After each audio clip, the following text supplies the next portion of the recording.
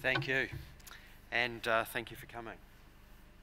So I got given the task of talking about how does an accessible livestock genetics, uh, livestock data platform work? And I thought that's going to be really interesting because I think I could just about go around this audience and name the, the three people who would really be interested in how it works under the hood. Um, so I'm, I'm, I'm not going to go into that sort of level of depth. I'm going to, uh, I guess, give you an overview of what I think are some key elements.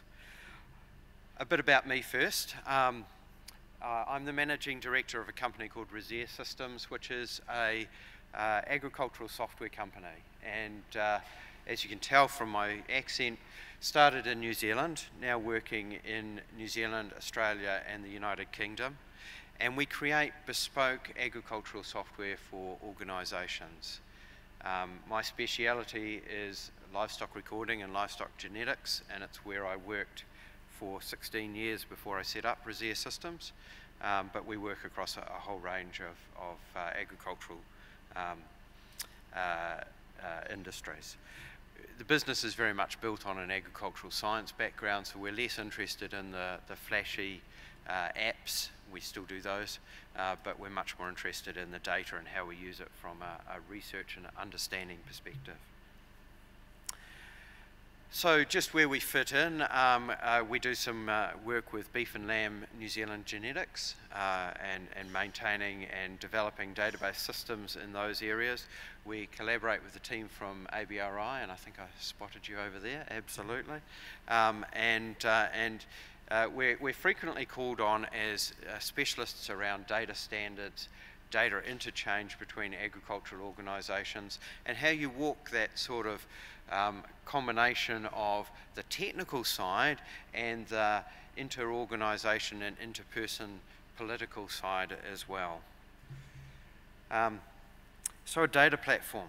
As I said, I'm not going to talk about how it's uh, how one actually works or is put together, because if you ask the, the IT hardware guys, they'll give you a fantastic explanation of how you can build a data platform, and I don't think you want to know that. And if you ask the software guys, uh, they can give you a, a, brilliant explanation of how all the moving parts fit together, and I don't think you want to know that either.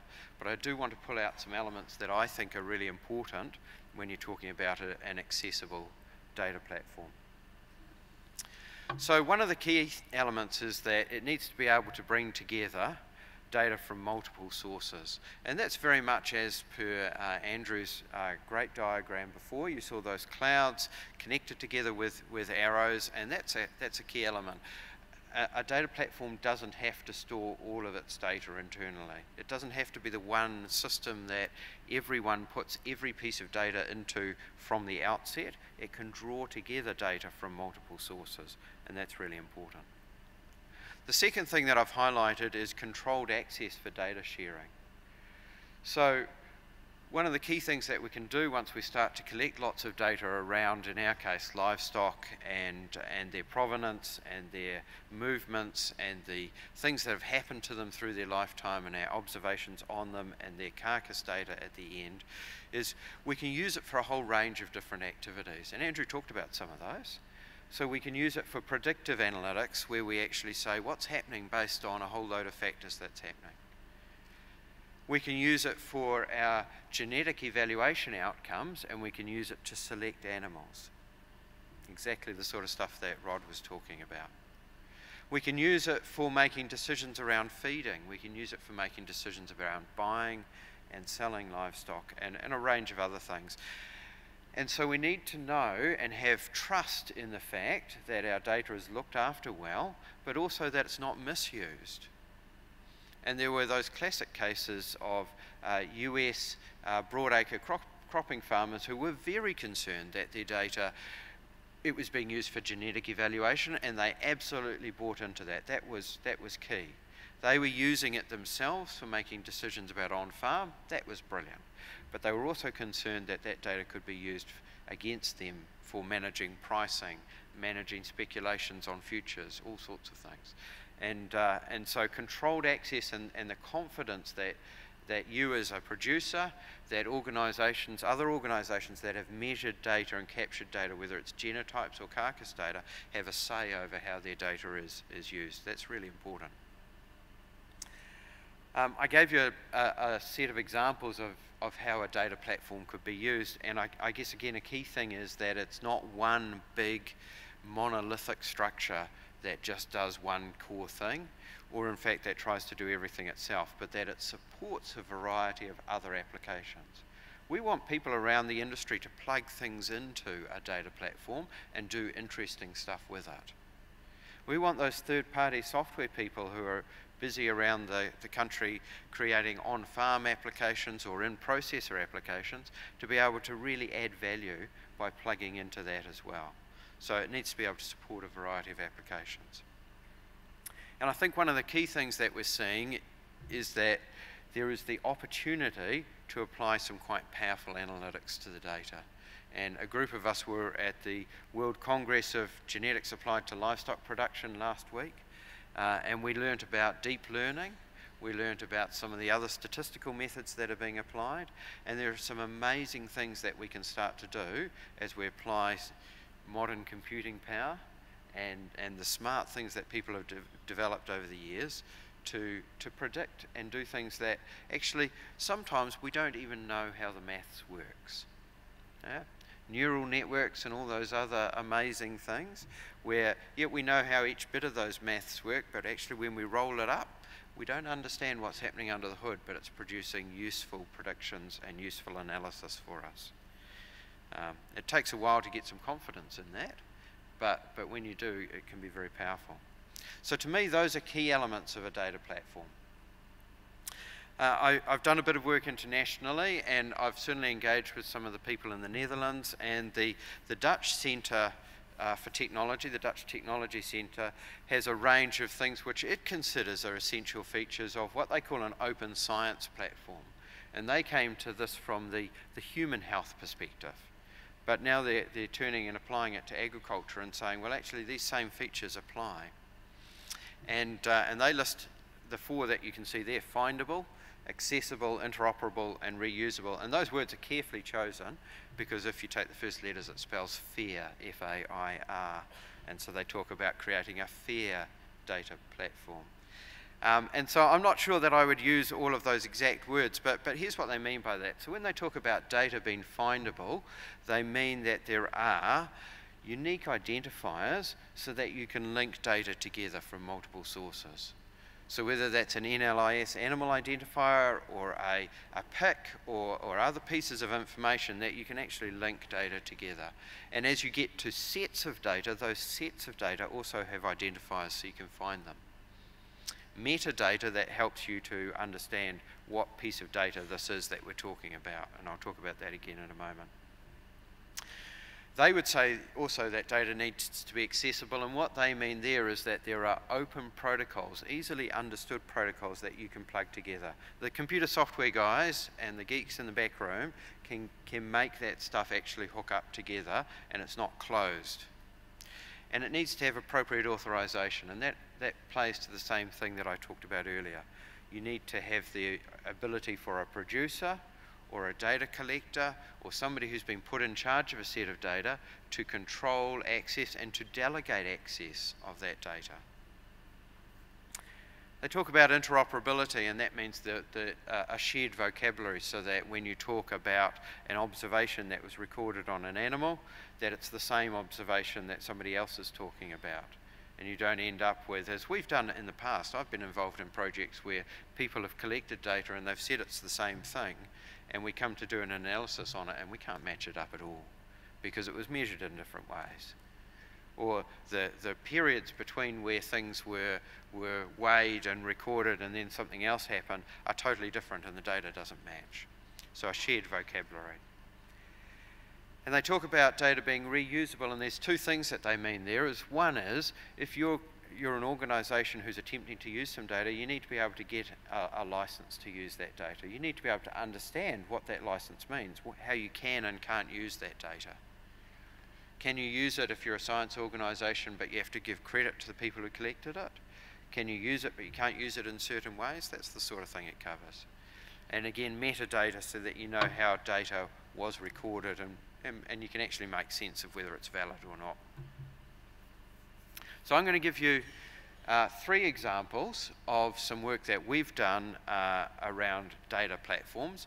And in, neither, in none of these cases would I hold them up as a perfect example of an accessible data platform.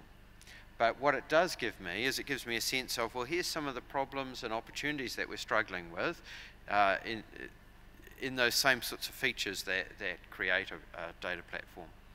So in New Zealand, and I think Graham Alder is here, can't see Graham, but we've been, we've been working on um, a replacement for the beef and lamb genetics database.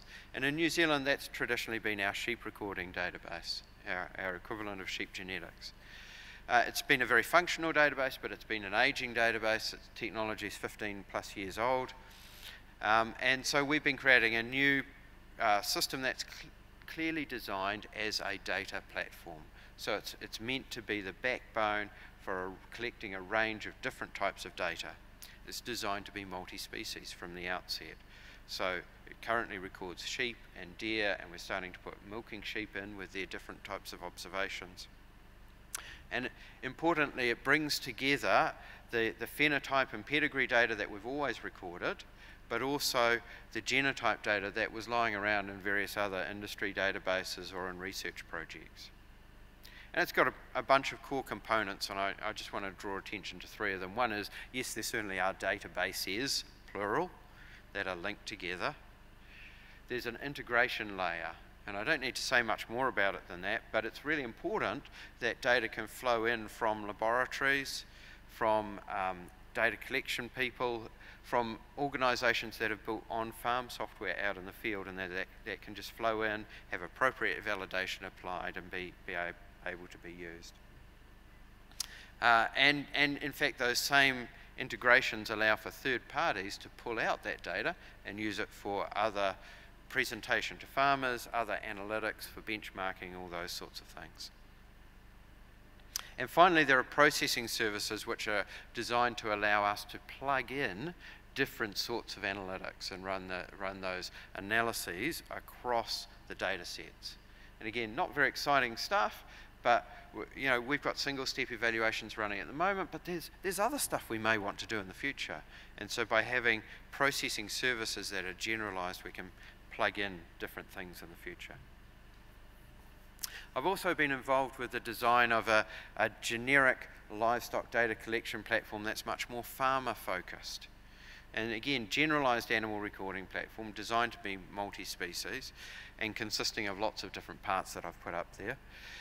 And our, our intention in that was that it was, again, it was a platform which organisations who we licensed it to could take brand as they liked, but also they could use to record a range of different things. And as we've rolled that out and it's, it's used in the US and Canada, New Zealand, Australia, and the UK, uh, we found that you know one of those core challenges is actually again its identity. It's getting IDs for things which are really unique and being able to, if you've got data coming from different data sources and your IDs aren't unique, you can't hook it together. And so that's been a big learning challenge for us in that space. I've been involved with the New Zealand Farm Data Initiatives for, for uh, four years now.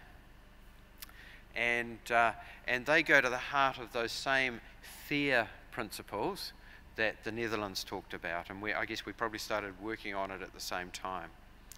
Uh, our work there has been funded by uh, industry through our levy bodies and, uh, and the New Zealand government. Uh, and really in three work streams, and I'll, I'll talk about those briefly. The Farm Data Code of practice was purely designed as an initiative to get producers and other people who were helping collect data or collecting their own data about farms and producers and animals to agree on how that data was to be used. So the Farm Data Code of practice is designed to get organisations to have clear, understandable, human readable, if you like, terms and conditions. Sorry, I excluded lawyers from that. Um, so, so not just legal terms and conditions, but ones that people can understand. Clear statement of rights around data. So we don't mind if an organisation says you own all your data that you put into our database, or whether an organisation says we own all the data that you put into the database. The important thing is that producers understand that and are able to make their choices about how they deal with the data. There's a, an accreditation process, and it's worth saying that accreditations while there's been widespread industry buy-in to this and 60 organisations said this is great and we want to participate and signed it off, um, there's been much lower actual uptake of organisations getting themselves accredited and getting the logo. And that reflects what the American uh, Farm Bureau Federation has found. They've got an equivalent program. Lots of organisations signed up to it. Very few have actually gone the last step and got themselves accredited. We're hoping that will change. Data dictionaries, I'm not going to spend any time on that, but again, getting common definitions of what you mean by a particular thing. The software guys love this because they don't have to reinvent it themselves and feel uncertain that they've got things right. And then we have a, a, platform called DataLinker, and DataLinker is unusual in that it's not a database. It doesn't hold data. It's not a data hub through which information passes, but it's a set of of components. It's a framework that helps all of our organisations, be they processors, uh, science organisations, uh, producer organisations, uh, third-party software vendors, it doesn't matter, they can all plug in and, uh, and make their data compatible with each other. And that's our goal. Uh, so that data does end up in the appropriate data platforms or it can be sucked in and used when it's needed. And so we have a central registry to make data findable, and that tells us who holds what types of data. It lets you find out what terms they, they provide that data under as well. We have a specification for how organisations get farmer permission or producer permission to share data. And actually, it doesn't have to be producer permission. It might be a vet giving permission for data that they've collected to be shared as well. There are standard messages or standard bits of data that are deliberately designed to make data interoperable. And wherever we can, we work with international standards bodies to define those. And finally, there are data access agreements. And again, we didn't want the lawyers to have all the fun. So we, uh, we got together a small group of lawyers who defined some template data access agreements that we're strongly recommending to organisations that they pick up and use so that again they don't have to reinvent the wheel and and, uh, and and I think one of our big challenges is it's fine if you're a really large organisation who's got a lot of a lot of influence but if you're a much smaller organisation a startup an independent software vendor and you're trying to get access to some data very hard to wade through the depths of, of, of deep legal agreements.